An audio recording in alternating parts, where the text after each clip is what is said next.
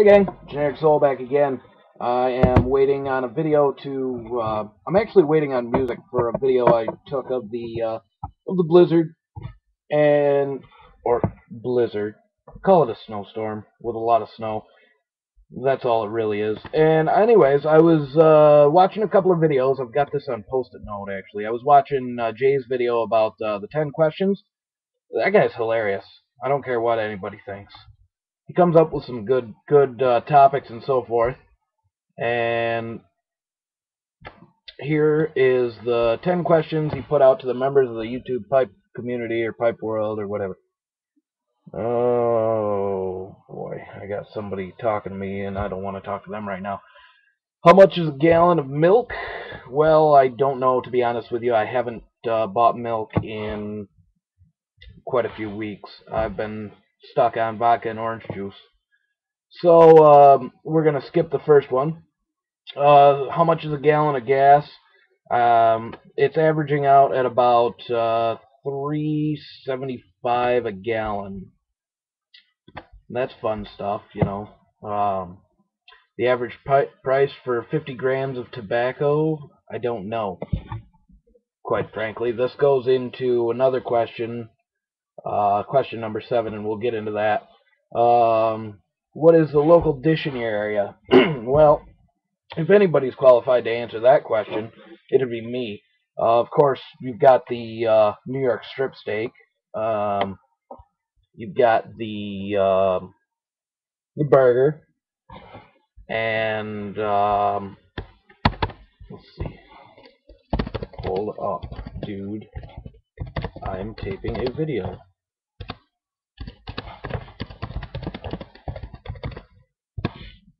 Okay. Um, let's see. Uh, the the burger, of course. Everybody everybody does a burger. We do a bunch of neat twists on the burgers where I work now.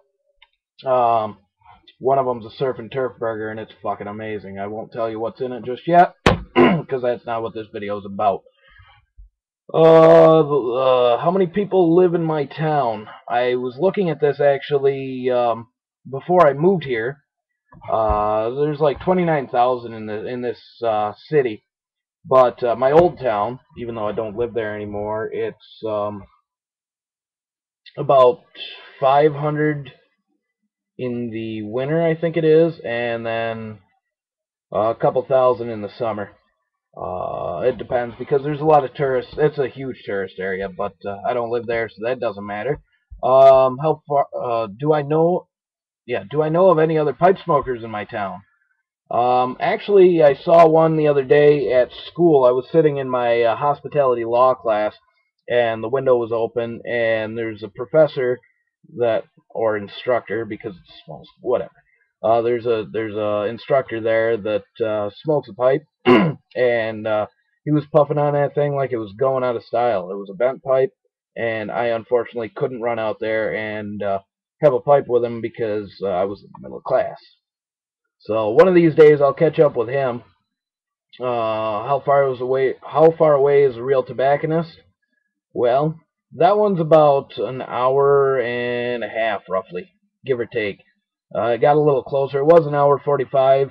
uh, I moved a half hour south, so you do the math. I'm not gonna.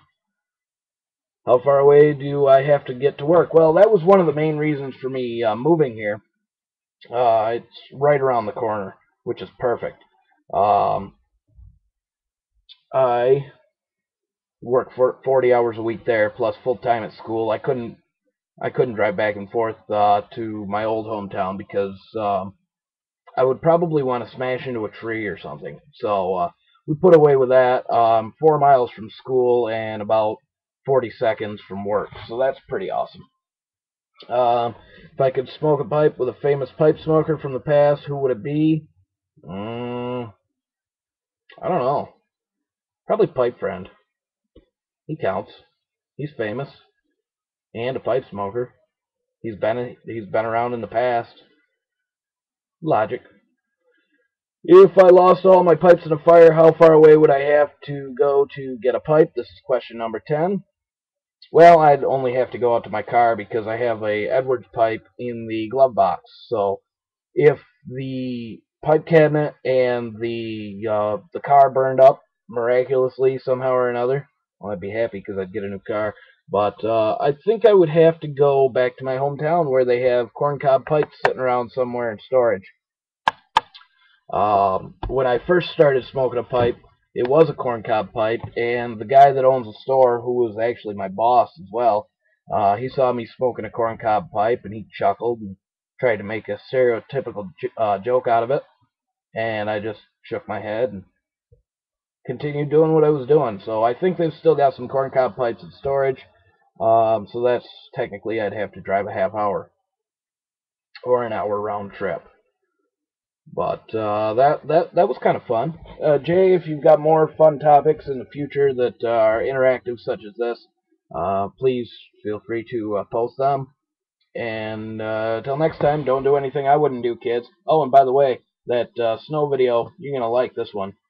Stay tuned for that. That'll be coming up as well tonight.